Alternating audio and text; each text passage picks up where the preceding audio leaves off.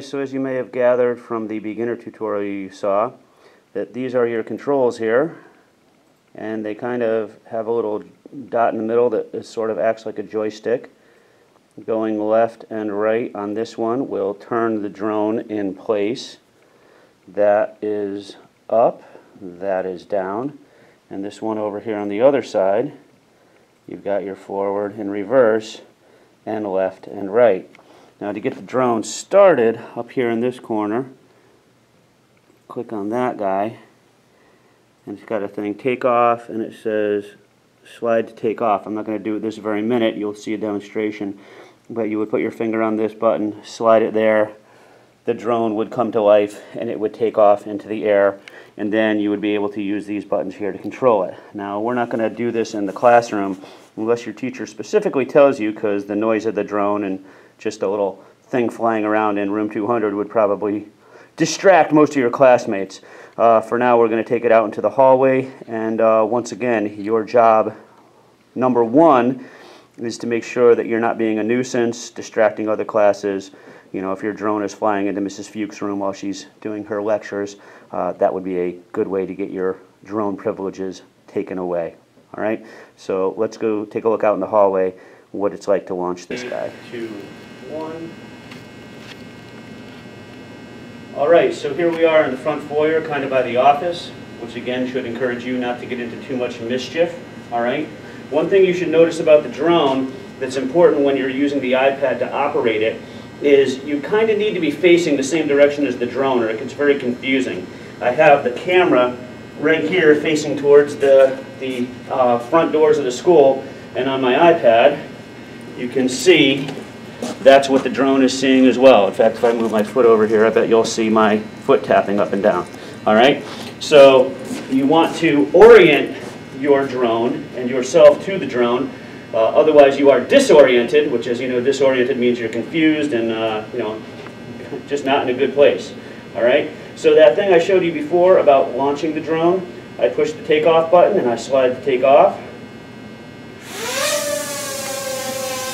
Look at that. Alright? And now you can see, since it's floating in the air, it's got me and Mr. Benson. Here I'll wave. Because it's still facing towards those front doors. I'm going to use the controls to rotate it. Turn it around. It's kind of hovering in place. Here's the hallway. I can raise it up a little bit. Hello. And I can keep going in this direction, or I can circle back. And once again, that drone has not really moved much from its original position. Alright? And I can go down, probably all the way down to the ground, or darn close to it. The drone should be set so it cannot go any higher.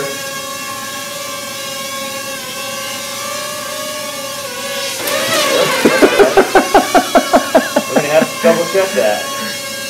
Because it should be in settings that it can't go any higher than 2 meters, which means that you won't get it stuck on the ceiling and any of the, uh, you know, uh, fire sprinkler heads or anything like that. All right? So right now, so I don't run this thing into Mr. Benson, I'm going to go back. I'm just going to back up a little bit.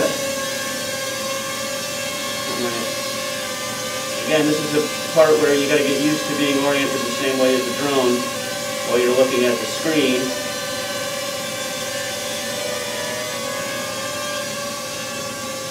I can also fly side to side with the camera still facing that way. if I want to go down the hallway toward room 200, I need to rotate. And now if I'm smart, I'm going to get my body behind the drone. So now I'm looking down this hallway the same way the drone is headed. Line it right up on those lines that are conveniently down the hallway.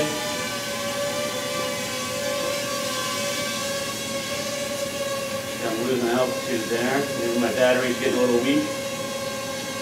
Bring it back out into this hallway.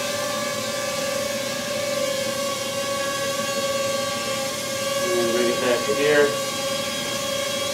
One thing I haven't shown yet is the ability to take a picture or a video. So just for an experiment, I'm going to click the video button.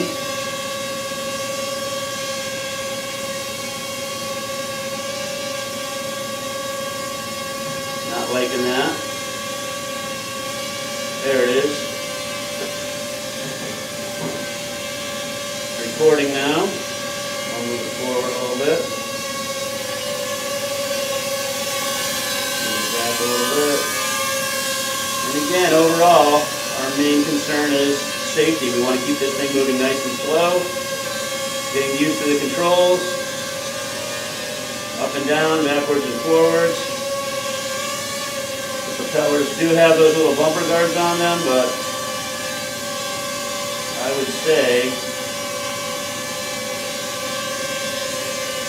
that I wouldn't trust them. But it's up to you to fly in a safe and responsible way. All right, so I'm going to hit the stop button on this video. and Maybe I'll be able to show you my results from that as well.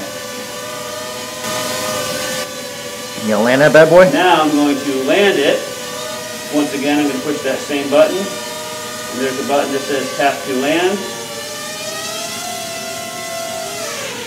And when it hits the ground, it turns off and you can see that the camera is still activated. I put my shoe in front of there, you can see my foot.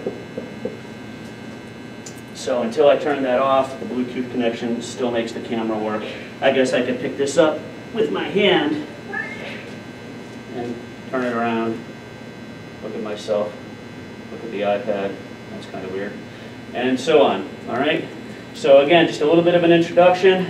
What we want you to do is take off, hover, rotate left, rotate right, go up and down a little bit without hitting the ceiling, fly a little bit forward, fly a little bit backwards, and take some video demonstrating that you've done this, all right?